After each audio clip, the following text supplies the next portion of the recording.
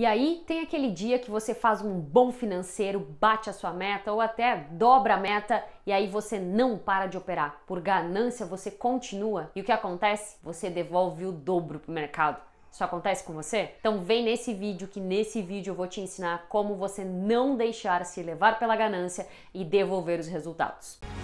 A minha missão é tornar o day trade uma profissão reconhecida quero saber se isso já aconteceu com você. Você já passou por essa situação? Me deixa aqui nos comentários. Você já passou por essa situação de você bater a sua meta do dia, de você fazer um bom financeiro e pensar só mais uma operação? Só mais um pouco? Continuar aquela coisa, hoje eu vou lavar a égua, né? Como dizem. Hoje eu vou realmente fazer um bom financeiro, vou continuar operando, chutar o balde. E aí, quando vê, você não para de operar, entra numa espiral de autossabotagem e quando se dá conta, você não só devolveu o lucro inteiro que você havia ganhado naquele dia para o mercado, como ainda está no negativo. Ou seja, você acabou devolvendo o dobro para o mercado. Isso já aconteceu com você? Ou isso tem acontecido com você com frequência? A ganância é um dos estados emocionais alterados que roubam os seus resultados. Essa ânsia de querer mais a qualquer custo faz você operar pior, faz com que você fique cego para o mercado. E aí, muitas vezes você estava lá operando, fez um bom financeiro, vamos dizer que a sua meta fosse de dois mil reais no dia. Você fez os seus dois mil reais e pensa, não, hoje eu estou num dia muito bom, vou continuar. E aí você continua e faz mais uma operação. E essa operação te dá um stop. Então, em vez de dois mil reais, agora você tem mil e setecentos. E aí você pensa, não, vou fazer só mais uma só para voltar para os dois mil. E aí você faz mais uma. E aí, quando vê, outro stop vai para 1.500. Não, só voltar nos, nos 2.000. E aí, quando vê, você vai nessa de querer só voltar nos 2.000 hum, e perde tudo que ganhou. Por isso que você tem que ficar muito atento com a ganância. Ganância é completamente diferente de ambição. Ambição é algo com consciência. Ambição é você querer mais, querer mais dos seus resultados, querer mais da vida, mas é com planejamento, é com consciência. A ganância é querer ganhar dinheiro é querer ter lucro a qualquer custo. Só que esse a qualquer custo no mercado não dá certo. Esse a qualquer custo no day trade significa perder em vez de ganhar. Então é o seguinte, a melhor coisa, aquilo que mais funciona para você combater a ganância é ter metas. Exatamente. Você estabelecer uma meta para o dia. E essa meta ela pode ser em termos de pontos, em termos de financeiro, em termos de percentual, em termos daquilo que fizer sentido para você e para o seu operacional, para sua metodologia. Mas é muito importante você ter bem claro na sua mente a hora de parar. Tem pessoas que não gostam de operar com uma meta fixa. Por mais que eu acredite que, principalmente se você está começando, se você tem pouco tempo de mercado, se você ainda não tem consistência, é mais fácil para sua mente trabalhar com uma meta fixa, principalmente se você não tem ainda o músculo da disciplina bem fortalecido. Fica mais fácil para sua mente trabalhar com uma meta fixa. Agora, Luana, já tô há mais tempo no mercado, já tô na fase de aumentar meus ganhos, né? Passar aí para é, vida de trader ou então para fase de tô pagando as contas. E vou sim, quero trabalhar com uma meta aí variável, quero tirar do mercado tudo que ele pode me dar no dia. Vou trabalhar sem meta fixa. Ok, mas só faça isso se o seu músculo da disciplina já estiver fortalecido, se você tiver plena confiança em você, na sua capacidade de seguir o seu plano. Porque se você ainda não tem isso bem desenvolvido, a ganância de querer, de não saber a hora de parar, ela vai levar os seus resultados. Vai impedir que você pague DARF no final do mês, vai impedir que você feche a conta no positivo. Hum?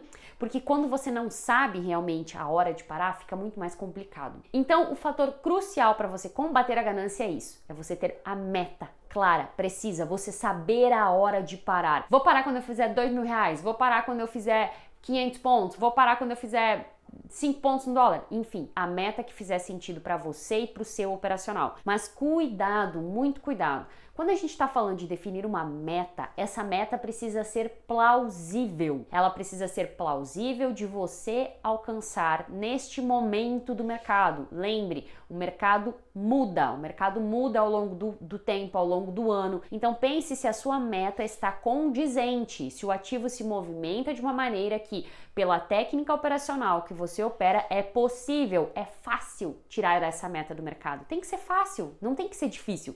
Tem que ser fácil fazer aquela meta em dias normais. É claro que vai ter os dias mais atípicos, mais difíceis e vai ter os dias mais fáceis. Mas na grande maioria dos dias, bater a sua meta tem que ser algo fácil e não algo difícil, algo sofrido para você. Caso contrário, é preciso rever essa meta. E aí, quando você bate a meta, o que, que você faz? Para.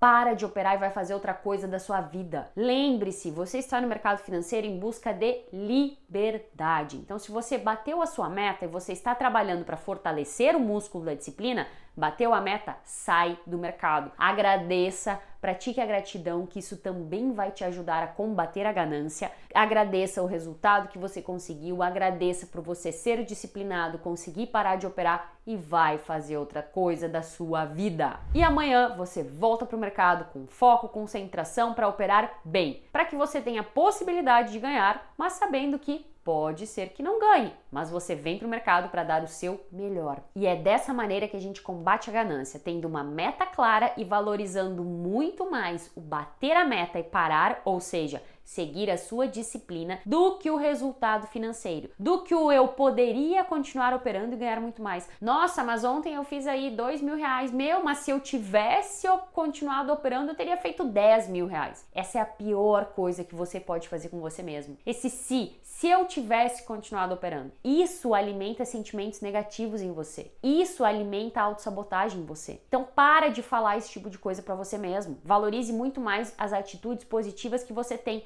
Poxa, parabéns, eu parei de operar na minha meta, eu cumpri o meu plano, eu segui a minha disciplina. Que legal, eu tô no caminho certo, eu tô operando como um profissional, é isso aí. amanhã ou depois Talvez vai chegar o dia de você extrapolar a meta, mas entenda que talvez não é esse o seu momento agora. O seu momento é de valorizar a sua disciplina para que você não caia nas garras da ganância. Se esse conteúdo fez sentido, está fazendo sentido para você, deixe o seu like aqui no vídeo. Se você ainda não está inscrito no canal, se inscreva agora. Ative as notificações para você ser avisado dos nossos melhores conteúdos como esse. Outra coisa para você combater a ganância é você tirar da sua mente de que um dia de trading vai mudar a sua vida. Não, Quer dizer, pode até mudar, mas se for mudar vai ser para pior, né? Vai ser um dia de autossabotagem que você perder muito mais do que você deseja, mas você que está seguindo aqui o Market Minds não vai passar por isso. Você vai seguir os meus conselhos, os ensinamentos dos meus vídeos e não vai acontecer isso com você. Hum? Mas para melhor, não. A gente demora dias, a gente demora meses, a gente demora anos. É uma construção. Ninguém constrói nada grandioso num único dia. Então para de pensar que você vai mudar de vida num único dia. Você não precisa de um único dia de resultados positivos, você precisa da construção desses resultados. Então valorize muito mais esse ir para o mercado, fazer o que você tem que fazer, ganhar o seu dinheiro, sair fora, cuidar, manter a sua sanidade mental, manter a sua saúde mental para estar bem e voltar no outro dia. Afinal de contas, se você continuar operando e devolver e devolver o dobro para o mercado, como é que vai ficar a sua mente? Como é que vai ficar suas emoções? Abaladas, né? E aí, como é que vai ficar a sua capacidade de operar e performar bem amanhã? Proteja, valorize muito mais a sua saúde mental, de proteger a sua mente, de estar bem todos os dias para operar, do que propriamente o resultado que você pode obter num dia. Um dia não vai mudar o jogo para melhor. Agora, para pior, se você não se cuidar, aí sim. Então, siga essas dicas para você não cair nas garras da ganância e você ter constância nos resultados. É isso que verdadeiramente importa. E você já sabe, eu vejo você no próximo vídeo.